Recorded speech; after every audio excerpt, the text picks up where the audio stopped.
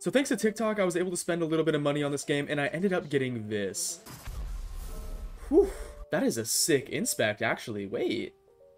The card and everything? Oh, spin. But yeah, this thing is absolutely beautiful. Like, look at that. How cool is this, man?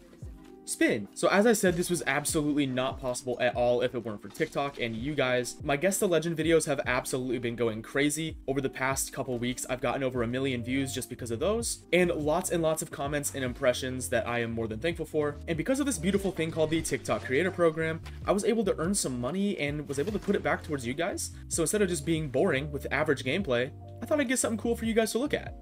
Like this. But yeah, this thing is so sick. Oh, and you might also be asking, Royall, I noticed that you're on Loba right now. Well, this is the only character I've been playing for the past week and a half. 25 ring closings is absurd, but that might just be me. I can't wait for when the Valkyrie challenges come out next week and it's like, ah, 40 ring closings. I think that would be hilarious, honestly. And you might also be asking, Royall, speaking of the breakout challenges, have yours been, like, replenished yet?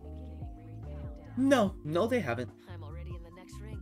Shut up, Loba. I'm trying to do a voiceover, dude. I'm just gonna have to lock in on stream and just do all the old challenges pretty soon. Speaking of stream, if you want to check that out, it's just Hey Royall on Twitch. Shameless plug, I know. Also, if you just want to plague all my games, you can submit channel points to make me drop my weapons, drop my armor, drop everything. It really makes for some crazy games, especially if you do it in endgame when I have really good loot, and I'm just running around with nothing. Just kidding, it's not fun. Hopefully this is the last game I need to play as Loba though. I only need like four ring closings. Hopefully I just get them all this game if I just can survive long enough and not run into other teams.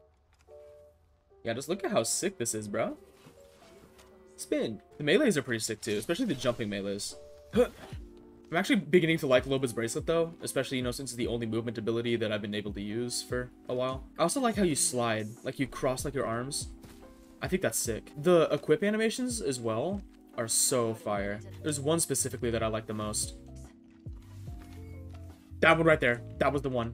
Oh my god, I just got melted. Wait, please. So sad, dude.